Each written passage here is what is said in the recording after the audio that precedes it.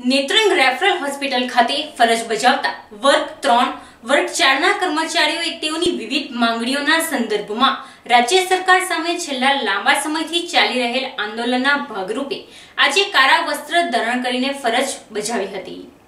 Netrang referral hospital ખાતે ફરજ બજાવતા વર્ગ ત્રણ, વર્ગ ચારના કર્મચારીઓએ તેઓની વિવિધ માંગણીઓના સંદર્ભમાં રાજ્ય સરકાર સામે છેલ્લા લાંબા સમયથી ચાલી રહેલ આંદોલનના ભાગરૂપે આજે કાળા વસ્ત્ર ધારણ કરીને ફરજ બજાવી હતી. છેલ્લા પંદર મહિનાથી ગુજરાત કોરોના વાયરસ સામે ઝઝૂમી રહ્યું છે. આ કપરા સમયમાં પ્રાથમિક આરોગ્ય કેન્દ્ર, સામૂહિક આરોગ્ય કેન્દ્ર, civil hospital, general hospital, state hospital GMERS medical college, nursing college તેમજ મહાનગરપાલિકા હસ્તકના તમામ આરોગ્ય કેન્દ્રોના કાયમી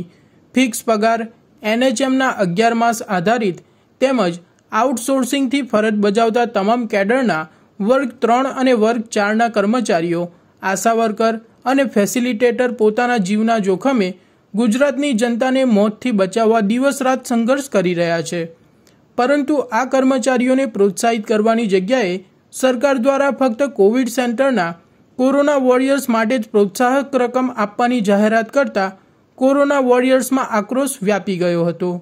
ત્યારે કોરોના વોરિયર્સને ન્યાય અપાવવા અને એમની લાગણીઓને વાચા આપવા કોરોના વોરિયર્સની દસ જેટલી પડતર માંગણીઓને લઈને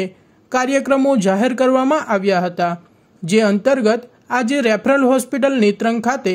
ફરજ બજાવતા વર્ગ ત્રણ અને વર્ગ ચારના આઉટસોર્સિંગ કર્મચારીઓએ પોતાની ફરજ દરમિયાન કાળા વસ્ત્ર ધારણ કરી આજે વિરોધ કરવામાં આવ્યો હતો.